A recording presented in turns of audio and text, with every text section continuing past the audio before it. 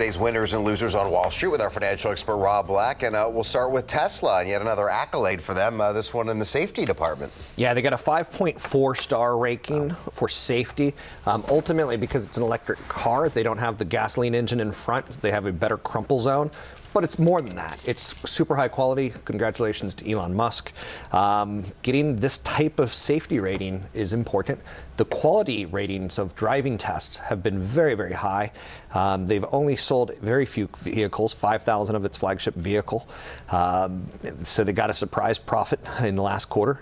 But popularity amongst high end buyers. This is a vehicle that's doing very, very well. The stock is way ahead of itself on a one year basis, but on a five year basis, it's probably pretty cheap. And is the question, I guess, is can they continue to up production? Is that going to be the big issue for them going forward? I think they are. And you know what's interesting about this? The Model S, it's really not a year car. They're not saying the 2014 Model S. Interesting. Um, so they can they don't have to change the designs all that often. They change with the technology, generation one, generation two, generation three. And typically when you do that, you do get smaller, cheaper, faster out of technology. So there's upside here for uh, the car manufacturer. And uh, they beat SUVs in a safety test. That's pretty impressive. Very. Let's talk about the housing market and a big rebound. And I guess one of the side effects is we're seeing a lot of apartments now go condo in San Francisco. Yeah, we went condo um, rental back to condos. So ultimately, developers in the Bay Area, whether it be San Jose, Oakland, Emeryville, San Francisco. Uh, they went from boom to bust to boom. Uh, some condominium complexes opened at the worst possible times in a downturn. So they said, you know what? We're going to rent these buildings out. Now that home prices have rocketed back up, they're saying, you know what? We're going to kick the renters out and we're going to sell all these units. Uh, 125 unit Broadway Grand in Oakland. Um, they've got 17 units originally sold, then they went then they went rental. Now they're down to the last 11 units for sale. They typically run anywhere from 185,000 to 480,000, wow. so it's more affordable than a single family home in the Bay Area. But um, it, to me, this feels like why are they why are they doing this at the after a big run? Why couldn't they have done this when it was more affordable? They're doing it because they're going to make more money.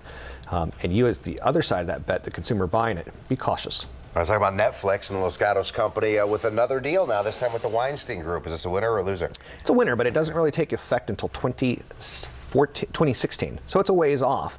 Weinstein Group, um, they have got great movies out there. Uh, long story short, this just makes Netflix more and more like HBO. There's more product that we want. Right now, I think most of their product is, in my opinion, probably best suited for children. Um, but they do get Disney and they do get the Avengers, and they, I like what Netflix is doing, and they're making it more and more appealing for you and I to cut the cable cord. Uh, if not for cable channels, we'll keep the internet and stream it to our Netflix uh, powered devices, whether it be an iPad, or tablet, TV, whatever it is. It's, they're being smart about it. And finally, on to Google and Google Glass. Do you think we're ever going to see this hit the market? Of course. so they've got 15 of them out, 1,500 of them out there right now. The Explorers, as they refer to them.